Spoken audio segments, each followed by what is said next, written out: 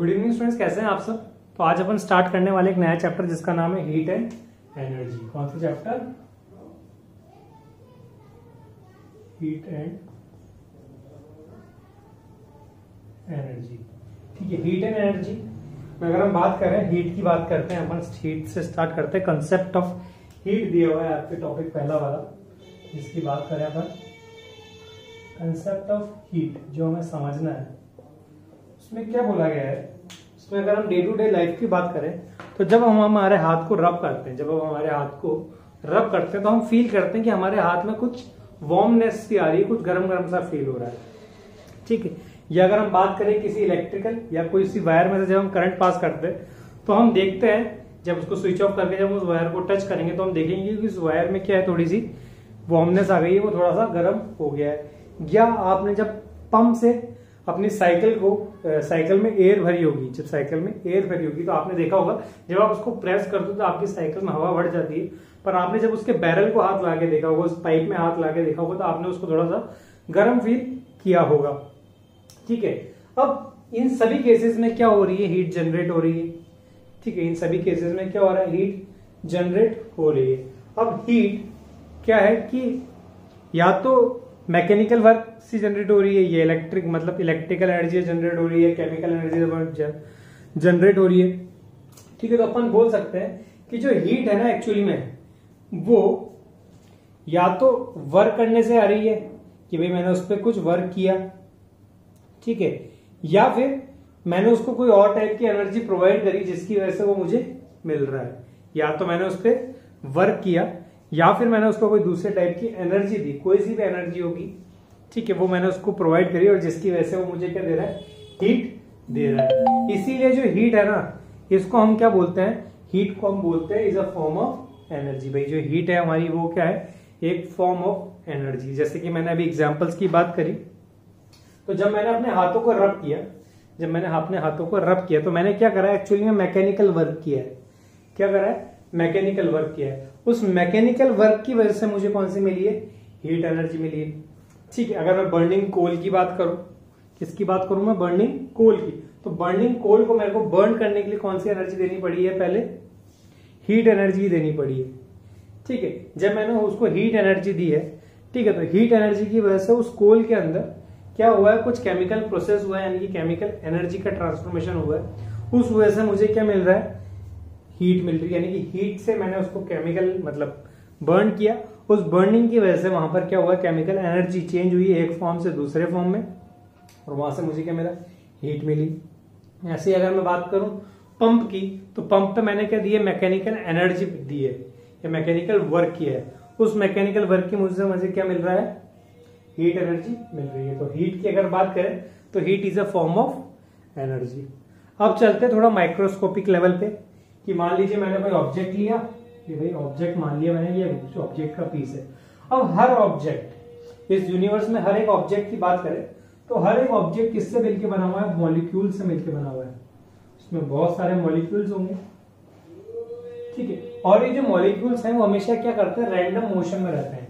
State of random motion में, ये इधर मूव कर रहा होगा, ये इधर मूव कर रहा होगा, ये इधर मूव कर रहा होगा, ये इधर मूव करेगा, कोई इधर मूव करेगा, कोई इधर कोई इधर कोई इधर, कोई इस तरफ़ कोई इस तरफ़। यानी कि सभी एक रैंडम डायरेक्शन में मूव कर रहे हैं। ठीक है, जिसको जिग्जैग पैटर्न बोलते हैं। ठीक है, कोई इधर जा रहा है, कोई इधर जा रहा है, कोई इधर जा रहा है।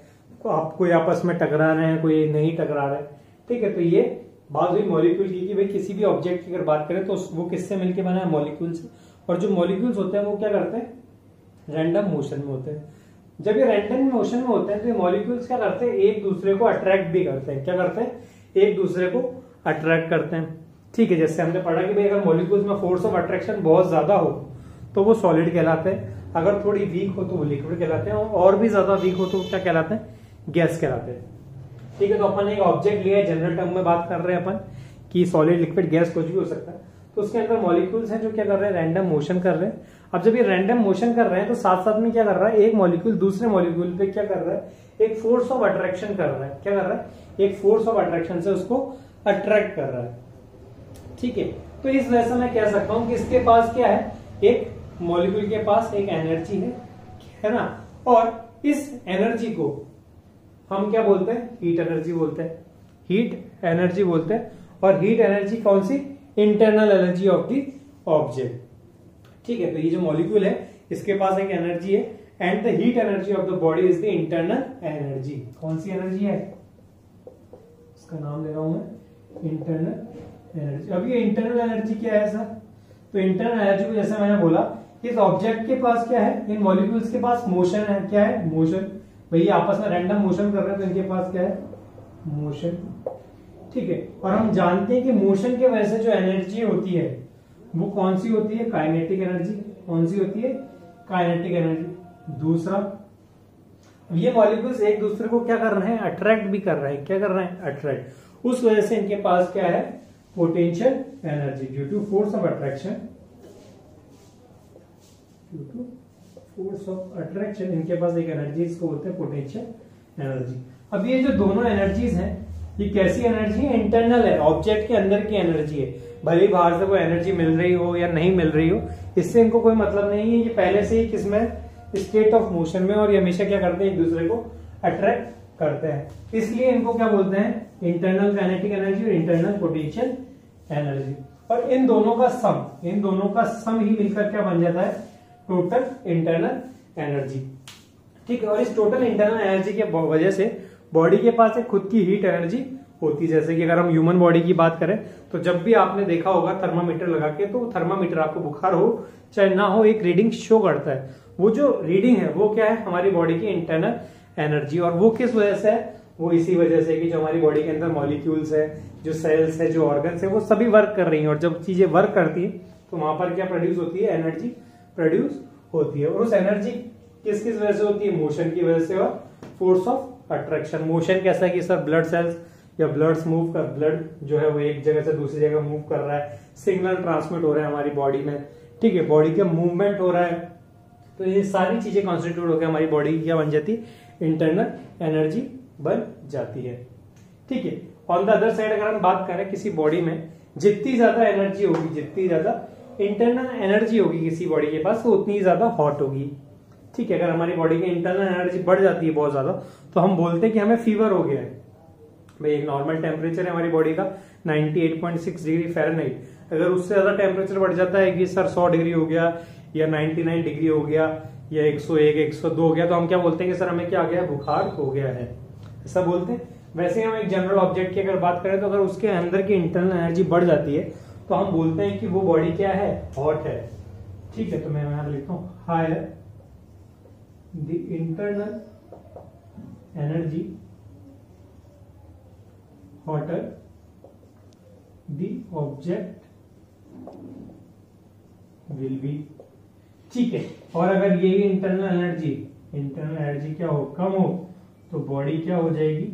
जितनी कम होगी इंटरनल एनर्जी उतनी ही ज़्यादा क्या होगी बॉडी कोल्ड होगी हमारे पास। ठीक है? अब एक चीज़ जो यहाँ पर हमें जानने वाली है, वो ये होती है कि जो हीट एनर्जी है, जो हीट एनर्जी है, वो हमेशा कहाँ से कहाँ फ्लो होती है सर जो हीट एनर्जी वो हमेशा हॉट बॉडी से कोल्ड बॉडी की तरफ़ ट्रेवल करती है। यानी कि अगर मान लीजिए, यहाँ पर एक ग्लास रख दिया मैंने, ठीक है? और ये कैसा है? हॉट है। ठीक है? और एक और ये ग्लास है। ठीक है, जो कैसा है।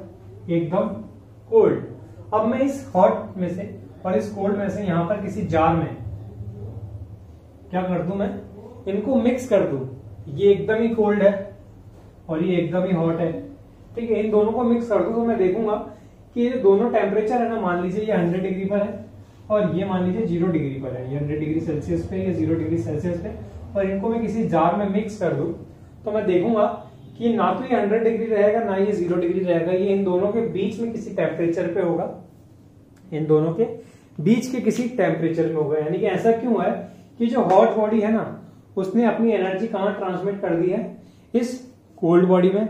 और इस कोल्ड बॉडी ने क्या करा है? जो हॉट बॉडी थी, उससे एनर्जी एब्जॉर्ब कर ली है। जैसे कि हम देखते थे कि भाई कोई रॉड है आयरन रॉड है। ठीक है आयरन रॉड को या आप घर पे बात कर लीजिए स्पैचुला की जो आयरन स्पैचुला होता है, उसको अगर आप कभी सब्ज़ी बना रहे हो तो उसमें देखेंगे कि जब वो एक तरफ़ से गर्म होने लगता है, जहाँ से आप उसमें पैन में रखेंगे और जहाँ से वो गर्म होने लगेगा तो आप देखेंगे कि जो थोड़ी देर बाद ये वाला जो पोर्शन है ना, ये भी आपको क्या है, गर्म फील होने लग जाएगा। ऐसा क्यों? क्योंकि जब आपने उस स्पैचुला को गर्म मटेरियल में डाला तो पहले ये पार्ट गर्म हुआ, पर ये ठंडा था। अब क्योंकि यहाँ पर टेम्परेचर डिफरेंस है, यहाँ पर टेम्परेचर में डिफरेंस है, अभी टेम्परेचर के बारे में भी हम पढ़ेंगे आगे। ठीक है तो यहाँ पे क्योंकि टेम्परेचर में डिफरेंस है, इस वजह से ये हीट क्या है, इस पॉइंट से इस पॉइंट में ट्रांसमिट हो रही है। ठीक है तो हॉट बॉडी थी ये वाला हॉट पार्शन था, यहाँ पर जो मॉलिक्यूल्स थे, वो क्या थे, ज़्यादा रैंडम मोशन में थे और यहाँ पर क्या थे, कम रैंडम मोशन में थे। तो इसने क्या करा, अपनी जो हीट जो इसने एब्जॉर्ब करी थी यहाँ से, वो कहाँ ट्रांसमिट कर दी है, आगे। और इस पार्ट ने क्या करा है, उस जो हीट ट्रांसमिट हुई थी, उसको एब्जॉर्ब कर लिया है। ठीक है और यही जो एनर्जी एक जगह से दूसरी जगह फ्लो हो रही है। The energy which is flowing from hot body to cold body is termed as heat energy और इसी को हम क्या बोलते हैं? हीट एनर्जी बोलते हैं। वो टाइम क्या बोलते हैं? सॉरी जो एनर्जी वो हॉट बॉडी से कोल्ड बॉडी में जो ट्रांसफ़र हो रही है, उसी को हम क्या बोलते हैं? हीट एनर्जी बोलते हैं या सिंपली उसको हम क्या बोलते हैं? हीट बोलते हैं। ठीक है, अब एक्चुअली में जैसा मैंने आपको बताया कि जैसे कि आयरन रॉड थी जिसको आपने एक तरफ़ से गर्म कर दिया ठीक है। अब क्या करेंगे, जब आप उसको टच करेंगे, जब आप उसको टच करेंगे, भाई, ये हॉट पूरी हॉट मेटल है, ठीक है, इसको आपने एक तरफ़ से तो गर्म कर दिया है यहाँ तक वाला पार्ट तो क्या था? रेड हॉट था और ये वाला एकदम कोल्ड था। भाई, इतना से होते आपने इसको हटा लिया, ठीक है, जहाँ पे भी आप इसको हीट कर रहे थे। जब आप इस वाले पार्ट को टच करेंगे, आपकी बॉडी नॉर्मल टेम्परेचर में, ना तो ठंडी है, ना गर्म है, इसके बीच के किसी टेम्परेचर पे है आपकी बॉडी मान लीजिए हंड्रेड डिग्री पे हो गया और ये ज़ीरो डिग्री पे है। तो जब आप इस बॉडी को टच करेंगे, आपका खुद का मान लीजिए फिफ्टी डिग्री सेंटीग्रेड टेम्परेचर है, ये हंड्रेड डिग्री पे है, ये ज़ीरो डिग्री पे है, आप फिफ्टी पे है। तो जब आप इसको टच करेंगे, इसको टच करेंगे तो ये बॉडी क्या करेगी? हमारी बॉडी पे एनर्जी ट्रांसमिट करेगी। या यूँ बोल दीजिए कि हमारी बॉडी इससे क्या करेगी? एनर्जी गेन कर लेगी। हमारी बॉडी इससे एनर्जी गेन कर लेगी। तो एनर्जी जो है वो कहाँ से कहाँ फ्लो हो रही है? इस बॉडी से इस बॉडी से हमारी बॉडी में एनर्जी फ्लो हो रही है। यहाँ पर हैंड बना देता हूँ मैं। ठीक है हैंड हो गया। तो इस हैंड में एनर्जी फ्लो हो रही है ऑन टचिंग एनर्जी फ्लो हो रही है। पर अगर यहाँ की बात करें तो हमारी बॉडी से एनर्जी कहाँ जाएगी? इस रॉड में जाएगी। इस रॉड में एनर्जी चली जाएगी। ठीक है तो हमारे हाथ से उस बॉडी में चली गई है। और अगर हॉट वाले हिस्से की बात करें तो हॉट से एनर्जी हमारी बॉडी में आ गई है। ठीक है तो ये थी सिंपल सी बात किसकी?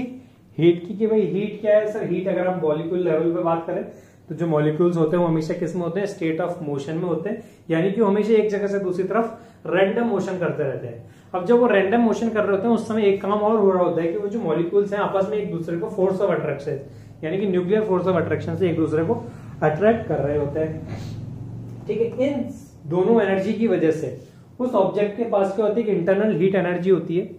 ठीक है, वो क्यों होती है? क्योंकि इसके पास क्या है? काइनेटिक एनर्जी भी है पोटेंशियल एनर्जी भी है। काइनेटिक एनर्जी कौन सी? क्योंकि इसका मोशन है रैंडम मोशन है, उस वजह से। और दूसरा, क्योंकि जो मॉलिक्यूल से आपस में एक दूसरे को अट्रैक्ट भी कर रहे हैं, उस वजह से इसके पास क्या है? इंटरनल पोटेंशियल एनर्जी है। और इन दोनों के सम को क्या बोलते हैं? इंटरनल एनर्जी बोलते हैं। इसके बाद हमने देखा कि सर, जो एनर्जी है, जो हीट एनर्जी है, वो कहाँ से कहाँ होती है? कि सर, जिसके भी पास ज़्यादा इंटरनल एनर्जी होती है, वो ज़्यादा हॉट बॉडी होती है, और जिसके पास कम होती है, वो कोल्ड बॉडी होती है। और एनर्जी हमेशा कहाँ से कहाँ ट्रांसफ़र होती है? हॉट बॉडी से कोल्ड बॉडी की तरफ़ ट्रांसमिट होती है। यानी कि जो बॉडी हॉट होगी, उससे एनर्जी निकल कर जाएगी कहाँ पर? कोल्ड बॉडी के पास। और अगर कोल्ड बॉडी है तो क्या करेगी? जो हॉट वाला पार्ट है, उससे एनर्जी एब्जॉर्ब करेगी। या यूँ मान लीजिए कि जैसे दूसरा एग्ज़ाम्पल लिया कि कोई ऑब्जेक्ट है जो कैसा है? गर्म है। अब मैं जब उसको जाकर टच करूँगा तो जो हॉट बॉडी है, वो क्या करेगी? एनर्जी एमिट करेगी। भाई, उसके पास ज़्यादा एनर्जी है। और जब मैं उसको टच करूँगा हॉट बॉडी को टच करूँगा तो मेरी बॉडी क्या करेगी? उस एनर्जी को एब्जॉर्ब करेगी। ठीक है, अगर ऐसा एग्ज़ाम्पल मैं कोल्ड बॉडी के साथ दू तो जैसे मैंने कोल्ड बॉडी लिया, उसको मैं जैसे ही टच करूँगा, मेरी बॉडी जो कि उस टेम्परेचर से ज़्यादा टेम्परेचर पे है तो ये क्या करेगी? उसमें एनर्जी ट्रांसमिट करेगी। यानी कि हीट जो एनर्जी है, वो मेरी बॉडी से निकलकर कहाँ पर फ्लो हो जाएगा? कोल्ड बॉडी में फ्लो हो जाएगा। ठीक है तो डेफिनेशन की बात करें हीट एनर्जी की।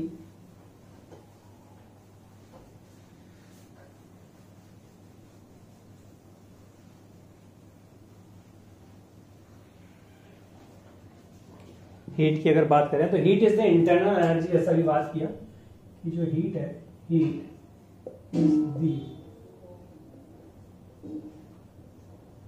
internal heat is the internal energy of molecules of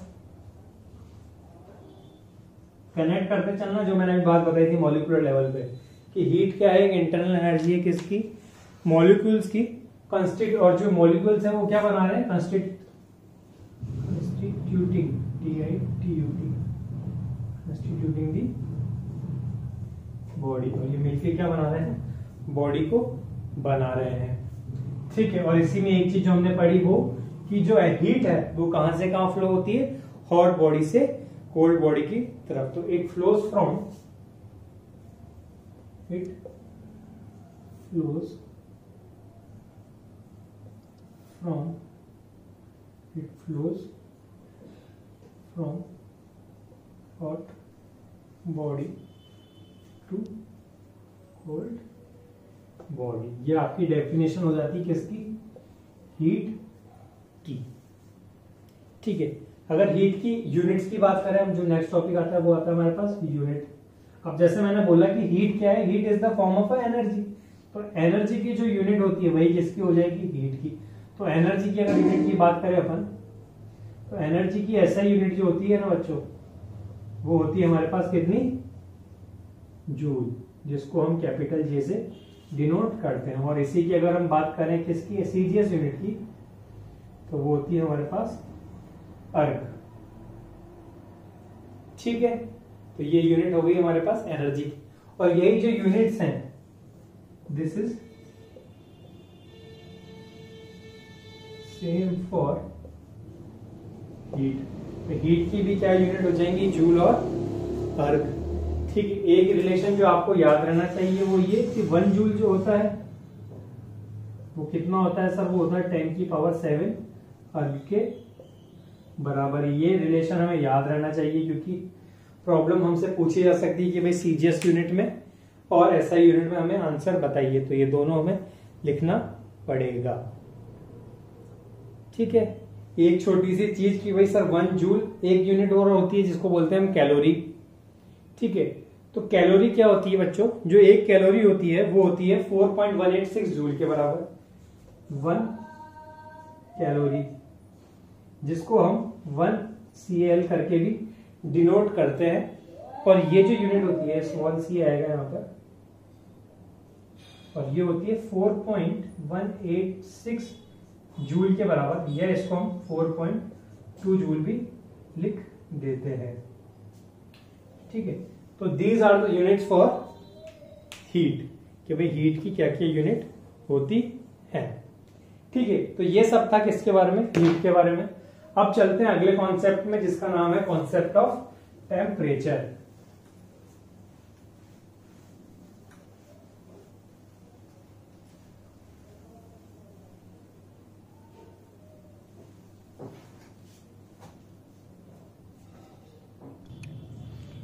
अगली चीज़ पे आते हैं, अपन जो था कंसेप्ट ऑफ़ टेम्परेचर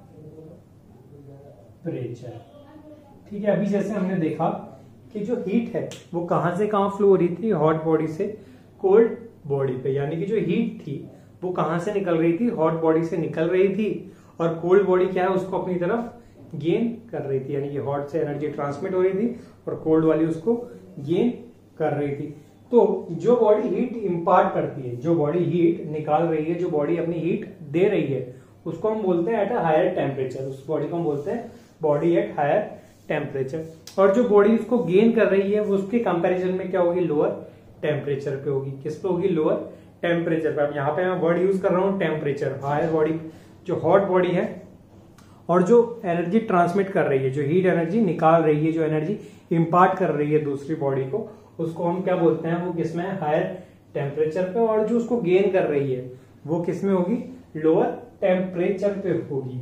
अब ज़रूरी नहीं है कि जो कोल्ड बॉडी है, वो हमेशा इम्पार्ट मतलब गेन करेगी। अगर मान लीजिए उस कोल्ड बॉडी से और भी ज़्यादा कोई कोल्ड बॉडी हो, ठीक है, भाई, यहाँ पे मैंने तीन बॉडी ले ली है।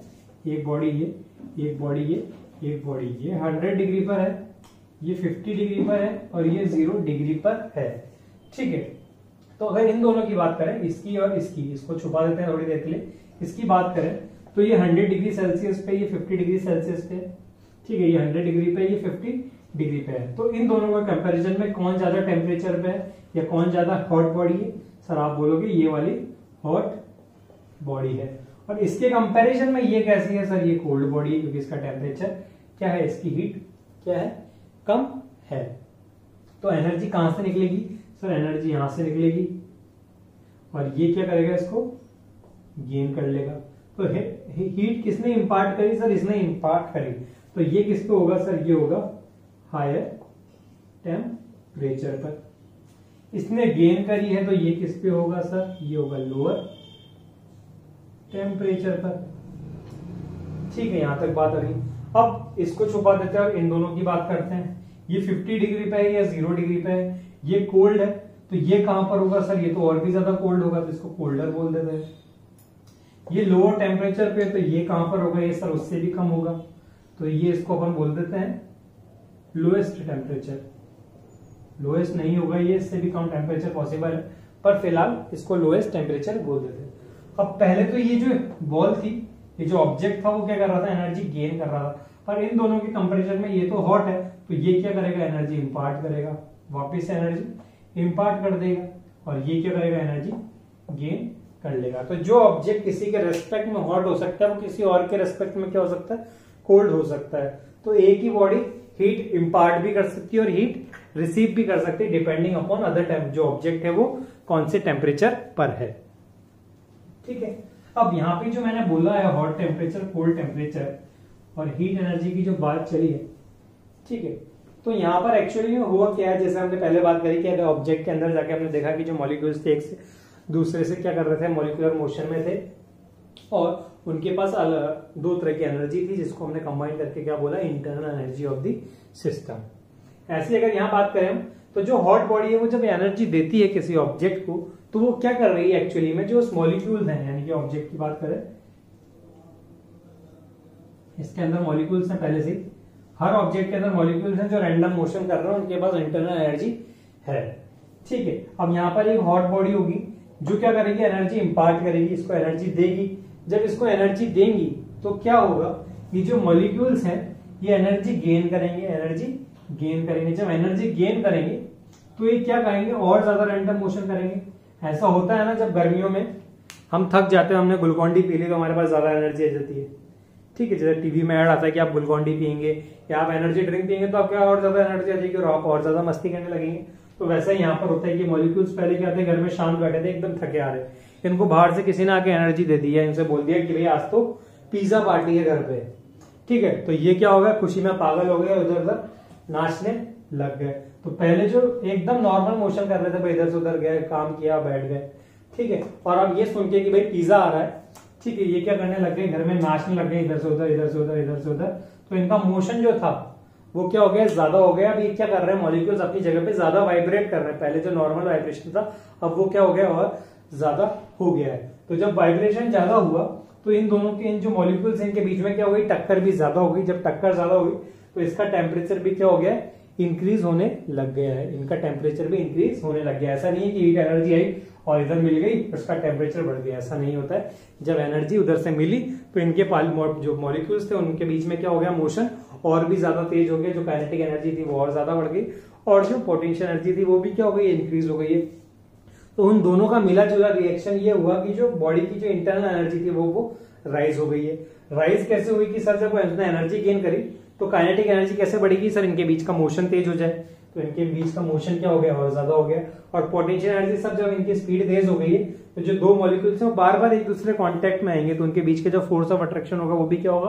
बार बार होगा, यानी कि ज़्यादा हो जाएगा। इसकी वजह से इस मॉलिक्यूल की, इस ऑब्जेक्ट की क्या होगी? इंटरनल एनर्जी इंक्रीज हो जाएगी। इंटरनल एनर्जी इंक्रीज होने की वजह से ये जो कोल्ड बॉडी है, वो क्या होगी? धीरे धीरे से गर्म होने लग जाएगी।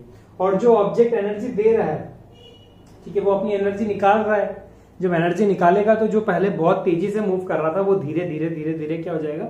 स्लो होने लग जाएगा। और उस टेम्परेचर तक, जहाँ तक कि उसका क्या आ जाए, वो टेम्परेचर ना आ जाए, जहाँ पर वो अपनी बॉडी को क्या रख सकता है? स्टेबल रख सकता है। बोल दीजिए कि स्टेबल हीट एनर्जी फॉर्म में ना आ जाए, या स्टेबल हीट टेम्परेचर पे ना आ जाए, तब तक वो क्या करता रहता है? अपनी हीट को इम्पार्ट करता रहता है। या ये बोल दीजिए कि बाहर की बॉडी के कंपैरिजन में बराबर टेम्परेचर पे ना आ जाए, तब तक वो क्या करता है? अपनी हीट एनर्जी को देता रहता है। तो यहाँ से हम टेम्परेचर को बोल सकते हैं कि सर टेम्परेचर एक्चुअली में क्या है? टेम्परेचर वो क्वांटिटी है। टेम्परेचर वो क्वांटिटी है जो ये मेजर करती है कि बॉडी के पास कितनी हीट है। कितनी हीट है। या सिंपली बोल दे कि वो ये बताएगी कि बॉडी का थर्मल स्टेट क्या है? Thermal state in the sense कि बॉडी गर्म है या कोल्ड है, ये कौन बताएगा? ये बता देगा सिर्फ़ टेम्परेचर हीट तो ये बता रहा है मुझे कि उस बॉडी के पास कितनी इंटरनल एनर्जी है, कितनी हीट है उसके पास। ठीक है, जबकि टेम्परेचर मुझे क्या बता रहा है? टेम्परेचर मुझे सिंपली ये बता रहा है कि ऑब्जेक्ट हॉट है या कोल्ड है। उसको कोई मतलब नहीं है ऑब्जेक्ट के पास कितनी हीट एनर्जी मतलब कितनी हीट एनर्जी वो सिंपली ये बताएगा कि ऑब्जेक्ट क्या है हॉट है या कोल्ड है। ठीक है तो टेम्परेचर की डेफिनेशन लिखे। It is the quantity it is the quantity which tells the thermal state which tells the thermal state which tells the thermal state of a body. Of a body. Full stop. Full stop that is degree of that is degree of hotness or coldness degree of hotness or coldness of a body. Full stop. And it also determines it determines the direction of flow of direction of flow of heat of heat when two bodies when two bodies at different temperature at different temperature are placed in contact in contact. ठीक है this is the definition for temperature क्योंकि temperature क्या है? Temperature वो quantity जो हमें बताएगी कि बॉडी कितनी हॉट है या कोल्ड है that is simply the thermal state of the body ठीक है, अब जब ये मुझे ये बता रही है कि बॉडी हॉट है या कोल्ड है तो यही मुझे ये भी बताएगी कि जो करंट का जो डायरेक्शन ऑफ़ फ्लो है हीट का, वो कहाँ से कहाँ होगा? तो हमें पता है कि ये तो बड़ी हॉट जिसके पास ज़्यादा इंटरनल एनर्जी होती है, वहाँ से फ्लो होती है, कहाँ पर? लोअर इंटरनल एनर्जी पे, यानी कि जिसके पास ज़्यादा हीट एनर्जी है, वो ट्रांसफ़र करती है कहाँ पर? लो हीट एनर्जी वाली बॉडी पर। अब जब ये मुझे बता रहा है कि इसके पास इतनी हॉटनेस है और इतनी कोल्डनेस है तो यही मुझे बताएगा कि भाई जो बॉडी हॉट है, वहाँ से कहा जाएगा? कोल्ड टेम्परेचर वाली बॉडी पर क्या जाएगा? हीट फ्लो होगी। ठीक है? नेक्स्ट थिंग आती जो है इसकी यूनिट्स ठीक है? तो जैसे हमने पढ़ा था फंडामेंटल यूनिट्स वैसे टेम्परेचर की जो यूनिट है, वो फंडामेंटल यूनिट है, और वो क्या है? कैलविन यूनिट्स की बात कर रहे हैं ठीक है तो जो ऐसा यूनिट है दैट इज़ कैलविन और इसको कैपिटल के से डिनोट करते हैं साइंटिस्ट के नेम पर है। That is its SI unit इसके अलावा दो अदर यूनिट्स हैं जो बहुत ही ज़्यादा फ़ेमस है, जिनको हम जानते हैं सेल्सियस के नाम से, और फेरन हाइट के नाम से स्पेलिंग चेक कर लेना, एक बार फेरन हाइट की स्पेलिंग गलत तो नहीं लिखी है। ठीक है?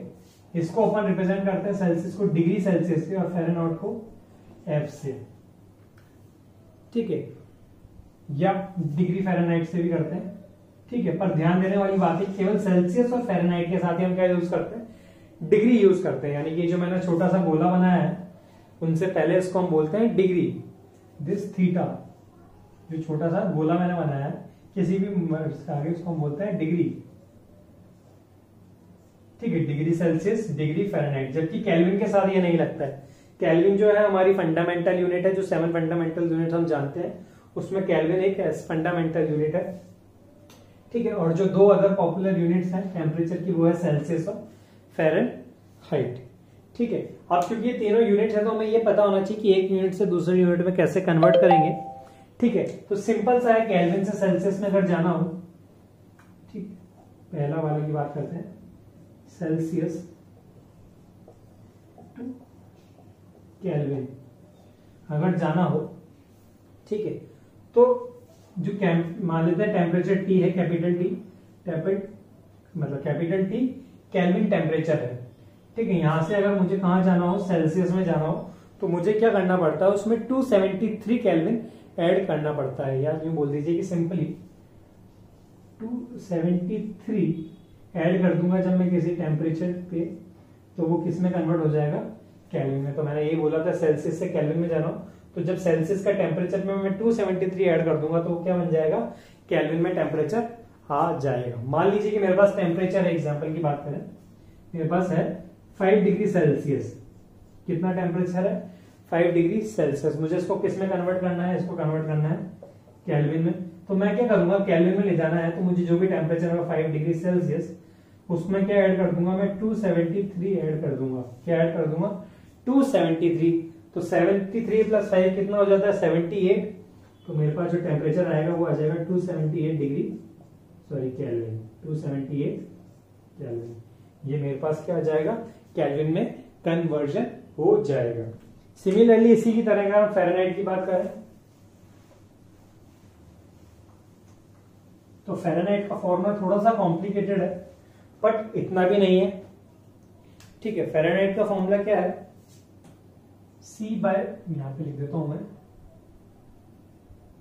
Second Celsius to Fahrenheit में जा रहे हैं तो C by five equals to F minus thirty two F minus thirty two by nine ये हमारा फॉर्मूला है किसका सेल्सियस से फेरेनाइट में जाने का कि अगर मेरे को टेम्परेचर सेल्सियस से फेरेनाइट में जाना हो तो कुछ इस तरीके का फॉर्मूला होगा। अब मान लीजिए जैसे वो फॉर्मूला दिया हुआ है मुझे एग्जांपल कि इस बार मुझे 5 डिग्री सेल्सियस को किसमें कन्वर्ट करना है? फेरेनाइट में कन्वर्ट करना है। तो मैं वैल्यूज़ पुट कर दूँगा। 5 degree upon 5 equals to F minus thirty two upon nine तो इससे कैंसिल आउट हो जाएगा बचेगा one nine minus F minus thirty two thirty two उधर चला जाएगा तो कितना आ जाएगा? Forty one degree Fahrenheit is the answer ठीक है तो फोर्टी वन फेरानाइट आंसर आ जाएगा। ठीक है, एक कॉमन तरीका है सबको कंबाइन करके लिखने का दैट इज़ ये जो वैल्यू है इसको और इस फॉर्मूले को सेल्सियस और फेरनाइट यानी ये जो फॉर्मूला है, ये वाला, और ये जो फॉर्मूला है, इसको कंबाइन करके एक कंप्लीट फॉर्मूला बन जाता है, जिसमें जिसकी वैल्यू चाहिए वो निकाली जा सकती है। कैसे C by five equals to F minus thirty two by nine ये तो था ये वाला फॉर्मूला अब उसमें मुझे ये भी ऐड करना है। तो ये कैसे होगा? ये होगा ऐसे kelvin minus two seventy three upon five ठीक है। अब इससे जिसका भी टेम्परेचर निकालना हो आप इजीली निकाल सकते भाई, ये कन्वर्जन था कैसे? सेल्सियस से फेरेनाइट में और ये था सेल्सियस से केल्विन में। अब आपसे चाहे पूछ ले, वो फेरेनाइट से केल्विन में निकालिए ठीक है? या फेरेनाइट से सेल्सियस में सेल्सियस से केल्विन में आप कुछ भी इजीली एक ही फॉर्मूले से निकाल सकते हो। अगर आपसे पूछ लिया जाए फेरेनाइट और कैलविन में निकालना है तो आप इस वाले पोर्शन को हाइड कर दीजिए। ये आपका फॉर्मूला बन गया किसके लिए? फेरेनाइट से केल्विन के लिए। अगर आपसे पूछ लिया जाए सेल्सियस और फेरेनाइट में निकालिए तो वो वाला पोर्शन हाइड कर दीजिए। ये फॉर्मूला हो गया। अगर आपसे पूछ लिया जाए, किसमें निकालना है सेल्सियस और कैलविन में निकालना है तो ये वाला फॉर्मूला हो गया। फाइव से फाइव कैंसिल आउट हो जाएगा टू सेवेंटी थ्री उधर प्लस हो जाएगा तो सेम ये फॉर्मूला हमारे पास बन जाएगा। ठीक है? इसमें कुछ छोटी छोटी चीज़ें और हैं जो हमें फेरानाइट के बारे में कैलविन के बारे में जानना है। ठीक है उस पर देखते हैं। ये तो हो गया कन्वर्जन कि भाई एक यूनिट से दूसरा यूनिट में कैसे जाना है? ठीक है, जो ऐसा यूनिट है वो कैलविन ही। है ठीक है, उसके अलावा जो दो कॉमन पॉपुलर यूनिट्स हैं, वो है सेल्सियस और फेरनाइट जिनकी हम यूनिट्स लिखते हैं डिग्री सेल्सियस और डिग्री फेरन हाइट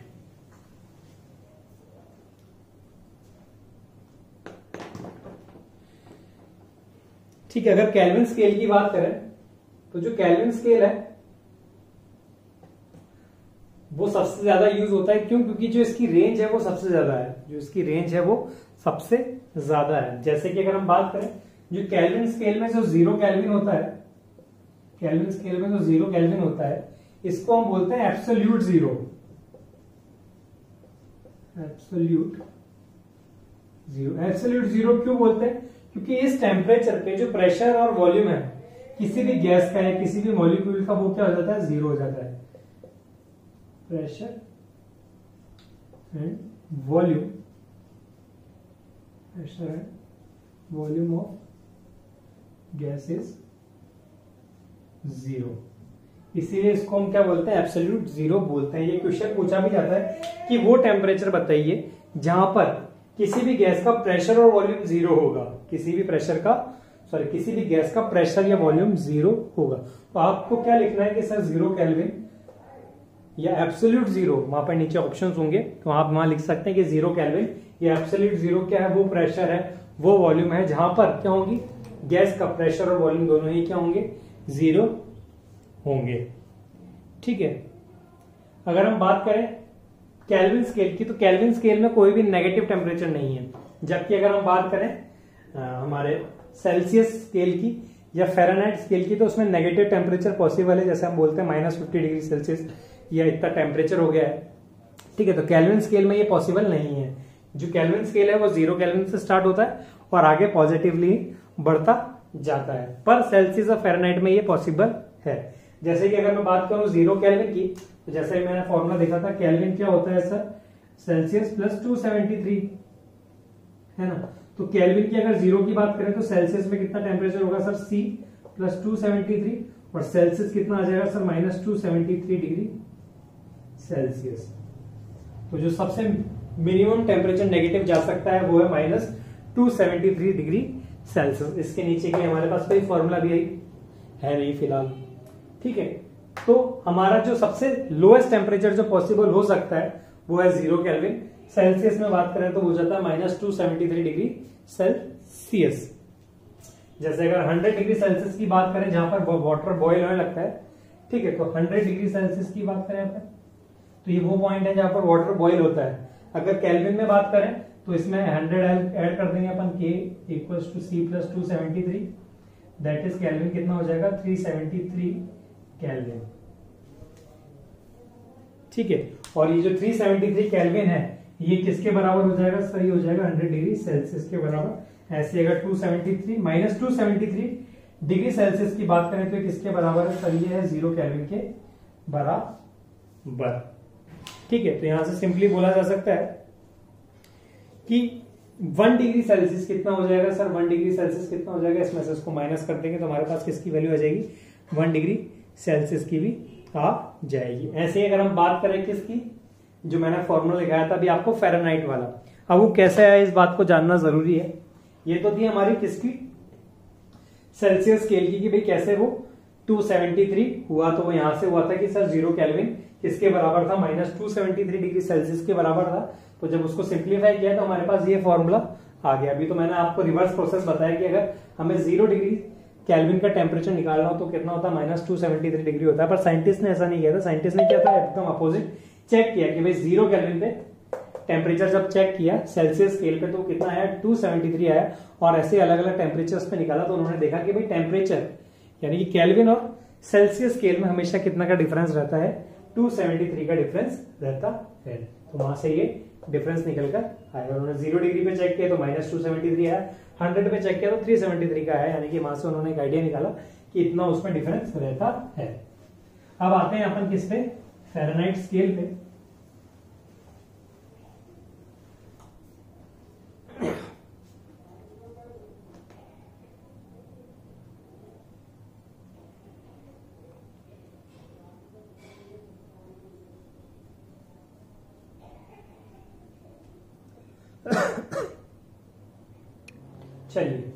अब जैसे मैंने बताया कि ज़ीरो डिग्री कैल्विन पे को हम क्या बोलते हैं? आइस पॉइंट बोलते हैं। सॉरी ज़ीरो पॉइंट नहीं। जो हमारा ज़ीरो डिग्री सेल्सियस है तो ज़ीरो डिग्री सेल्सियस ये क्या है हमारा आइस पॉइंट है जहाँ पर? पानी बर्फ़ में जम जाता आइस पॉइंट ठीक है, और इसी आइस पॉइंट को अगर फेरेनाइट में लिखें तो कितना हो जाएगा सर? वो हो जाता है कितना? 273 कैलविन जैसा भी हमने यहाँ पे देखा था। तो ये आइस पॉइंट किसके बराबर होता है? 273 केल्विन के बराबर होता है, क्योंकि अभी हमने देखा कि zero degree Kelvin minus two होता है तो जो ज़ीरो डिग्री सेल्सियस होगा वो कितना हो जाएगा? कैलविन के बराबर हो जाएगा। Kelvin equal to T plus two seventy three sorry C plus twenty three अगर ये ज़ीरो हो गया तो कैलविन कितना हो जाएगा? Two seventy three Kelvin. तो ज़ीरो डिग्री पे, टू सेवेंटी थ्री कैलविन पे, और अगर फेरनाइट की बात करें तो वो हो जाता है थर्टी टू डिग्री फेरनाइट ये वो टेम्परेचर है जहाँ पर वाटर किसमें होगा? आइस फॉर्म में होगा। आइस पॉइंट है ये। ठीक है फेरनाइट में थर्टी टू डिग्री कैलविन में टू सेवेंटी थ्री और अगर सेंटीग्रेड में बात करें तो ज़ीरो डिग्री सेंटीग्रेड अगर ऐसे ही हम बॉइलिंग पॉइंट की बात करें बॉइलिंग पॉइंट की बात करें तो बॉइलिंग पॉइंट कहाँ होता है सेल्सियस में? सर हंड्रेड डिग्री सेल्सियस पे। इसमें अगर ऐड करें तो hundred plus two seventy three वो कितना हो जाता है? थ्री सेवेंटी थ्री कैलविन हो जाता है। और अगर हम बात करें किसकी? फेरनाइट की। ये फेरनाइट में है, ये कैलविन में है और ये सेल्सियस में है स्केल्स ठीक है तो वो कितना हो जाता है? Two one two degree Fahrenheit अगर हम इनकी स्केल की बात करें, जो आप रीडिंग देखते हैं थर्मामीटर में, ठीक है तो इसकी और इसकी रीडिंग में थोड़ा सा डिफरेंस है कि जो कैलविन और जो सेंटीग्रेड का जो स्केल है जो कैलविन और सेंटीग्रेड का जो स्केल है, जिसमें आप टेम्परेचर रीड करते हैं कि इतना बड़ा इतना बड़ा इतना बड़ा, ठीक है? तो ये जो स्केल है, ये जो डिविजन है, उसमें कितने डिविजन है? हंड्रेड डिविजन है। कैलविन स्केल या इसकी बात करें तो मैं लिख देता हूँ कैलविन एंड सेल्सियस जो स्केल है हमारे पास scale have hundred equal division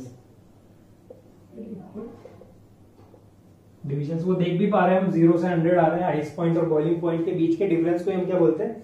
scale बोलते हैं। और इस स्केल की रेंज कितनी है? हंड्रेड की ज़ीरो से hundred two seventy three minus three seventy hundred पर अगर हम बात करें फेरेनाइट स्केल की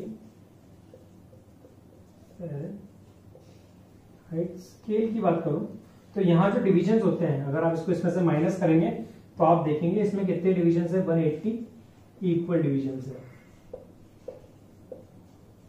वन एट्टी इक्वल डिविजन है ठीक है? तो फेरेनाइट स्केल को याद रखना है कि फेरेनाइट स्केल में कितने डिविजन होते हैं? वन एट्टी कैलविन और सेल्सियस स्केल में बराबर डिविजन होते हैं दैट इज़ हंड्रेड ठीक है? इसी बेसिस पे हमने फॉर्मूला निकाला था F minus minus thirty two upon nine ठीक है? वो इसलिए कि अगर मैं सेल्सियस या कैलविन स्केल की एक डिग्री की बात करूँ, कि भाई एक कैलविन या एक डिग्री सेल्सियस कितना होता है? तो मैं थोड़ा यहाँ पर साइड में बता देता हूँ आपको। कि अगर मैं बात करूँ वन डिग्री सेल्सियस की, वन डिग्री सेल्सियस की बात करूँ तो वो हो जाता है five by sorry five by nine की, five by nine degree Fahrenheit के बराबर। One degree Celsius is equals to five by nine by, अरे गलत लिख दिया मैंने। Nine by five degree Celsius is nine degree by five degree Fahrenheit ठीक है, ये मैंने बताई दिया कि अगर ज़ीरो कैलविन की बात करें तो एब्सोल्यूट ज़ीरो होता है। ये रिलेशन है वन डिग्री किसके बराबर होता है? Nine by five degree Fahrenheit के बराबर। और इसी को जब हम सॉल्व करते हैं तो हमें रिलेशन मिलता है सी बाय फाइव जो मैंने आपको बताया था सेल्सियस से फेरनाइट में जाना हो तो C by five equal to F minus thirty two by nine ठीक है? तो ये सब था आपके किसके बारे में? कॉन्सेप्ट ऑफ़ हीट और कॉन्सेप्ट ऑफ़ टेम्परेचर के बारे में। नेक्स्ट क्लास में मिलते हैं और वहाँ हम बात करेंगे इसी चैप्टर में आगे। एनमलस एक्सटेंशन ऑफ़ जो सॉलिड लिक्विड है गैसेस के बारे में। तो होप आपको आज का समझ में आया होगा। मिलते हैं नेक्स्ट क्लास में। Have a great day